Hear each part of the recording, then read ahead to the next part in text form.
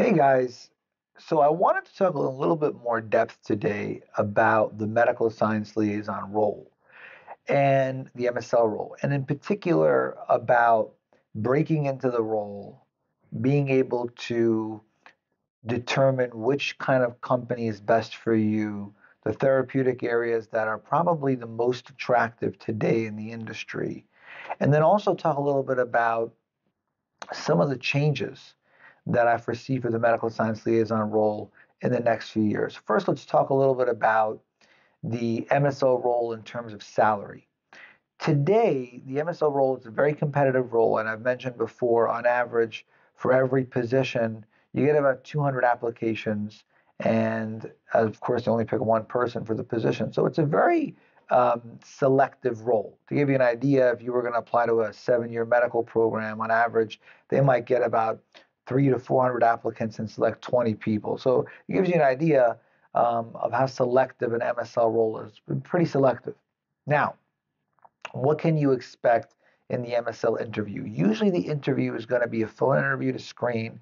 Then they're going to have you come in they're going to have you meet with different members of the medical affairs team, of course, the medical science liaison manager, director, and then they're going to also ask you to present.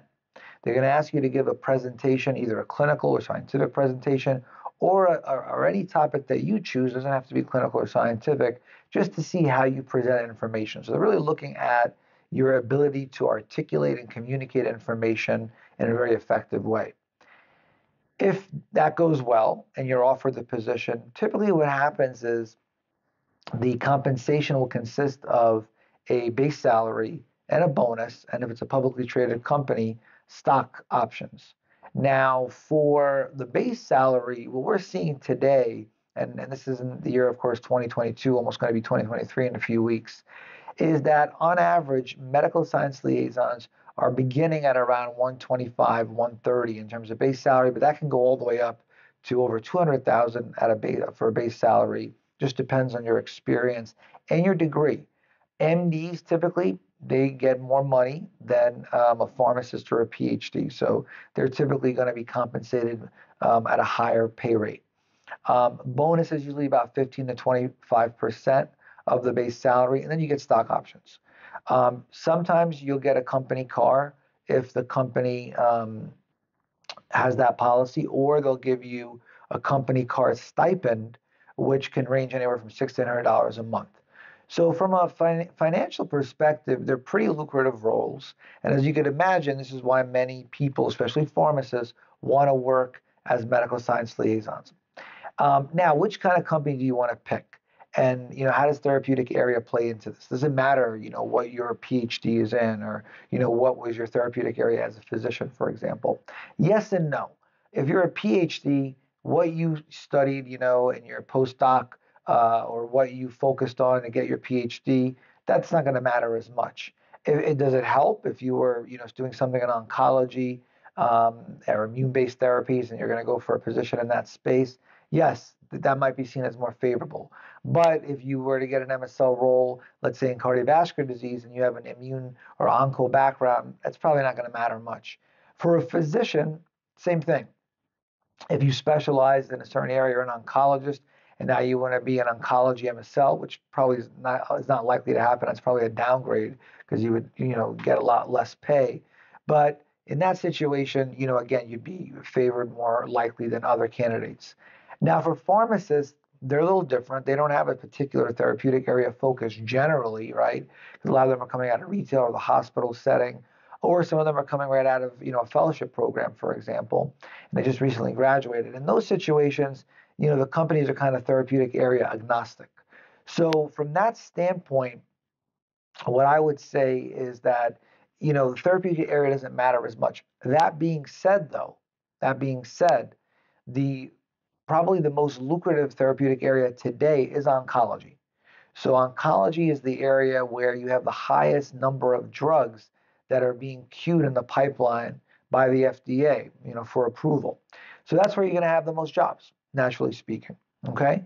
Now, how do you choose between, you know, a big pharma, a mid-sized company, a biotech? How does that work?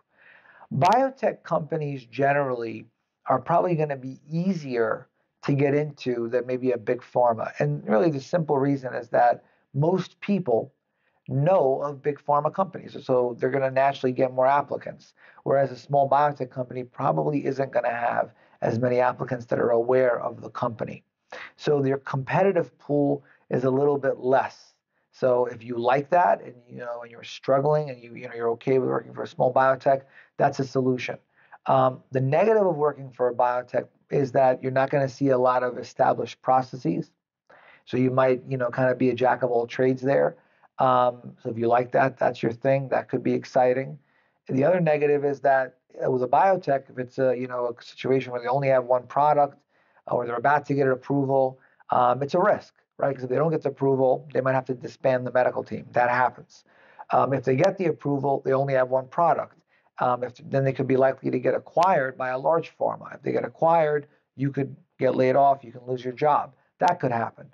Conversely, if they get acquired, the stock might shoot up very high, and now all of a sudden your stock options are worth a lot of money. That can happen as well. So there's some risk, but the reward can be certainly great. Now, where do I see the medical uh, science liaison role going in the future? What I'm seeing is a greater reliance on virtual MSLs as well as greater reliance on digital and AI technology. So I think the medical science liaison professionals of the future are going to be folks that have a broad set of skills that they're trained in, like digital technology, AI, things like that, um, and also understand things like healthcare administration, bioinformatics, and whatnot, pharmacogenomics. And they're really going to act truly as liaisons within the healthcare community to kind of build that bridge for their company, but in a different way, not just in only being kind of therapeutic area experts. So I think it's going to evolve considerably, and I think more and more medical science liaisons will become the face to healthcare providers when it comes to providing that information at a first line level versus pharmaceutical sales reps, which still today, you know, provide that role. I think it's going to change significantly with the increase in biologics and biosimilars in the space and more specialty products. So if you like this content, you found this useful, be sure to like, subscribe, and comment below. Thank you.